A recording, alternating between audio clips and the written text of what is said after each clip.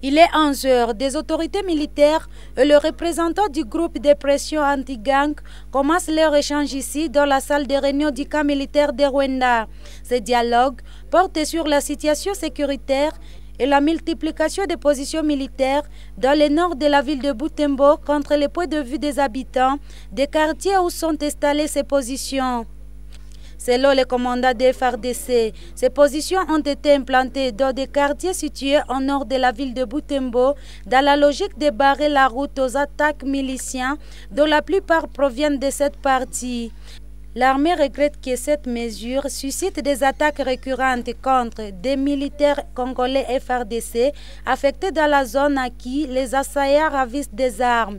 Mission ya militaire quand vous liona afflux ya militaire bana occupé ba hauteur ya Butembo juu ya éviter incursion ya ba ADF.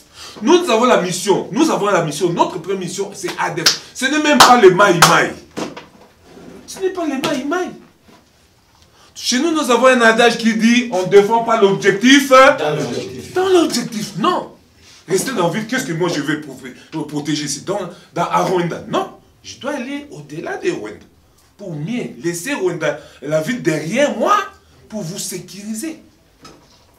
C'est pas ça. Donc ce n'est pas nous, on n'a même pas à tout la même vision, toi, bah, jamais. Nous, on voit le danger qui vient là-bas. Les maisons qu'on est en train de Kuvunja, ce sont des maisons ciblées. Tout à coup, pita, pas tout Ah, donc tu dis pas donné moi. Il faut a droit à quoi D'accord, on dit comment on va interpeller. Oui, c'est ça. Malgré que les suspects biko malin, on a dit de oh, kule balifunga manzikala. Mais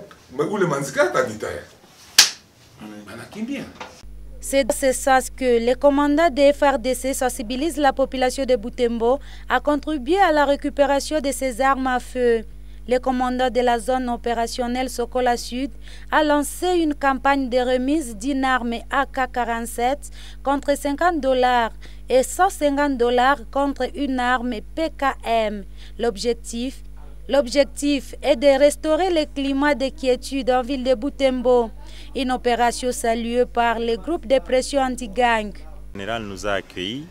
Et cet accueil a été fructueux pour nous parce que depuis hier, nous étions décidés de rencontrer les autorités politico-militaires parce que notre ville de Butembo a une insécurité, il y a une méfiance euh, entre la population et l'armée. Mais aujourd'hui, nous venons de lui donner nos cris d'alarme et ces réponses nous ont été très bonnes. Et nous allons continuer jusqu'à la fin afin que les fêtes qui approchent toute la population soient en sécurité. Le mouvement anti-gang s'est trouvé mécontent de tout ce qui s'est passé et à la rencontre du général, il nous a assuré qu'il va contrôler ces éléments, qu'ils seront éduqués quant à ceux et à cela, nous avons eu une très bonne réponse où il appelle tous ceux qui gardent les armes de les amener. Et s'ils ont peur, ils peuvent passer par le mouvement anti-gang et un cadeau est réservé pour eux.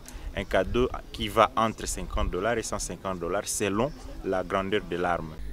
Cette autorité militaire appelle la population à collaborer avec son armée loyaliste pour asseoir la sécurité dans la ville de Butembo et ses environs.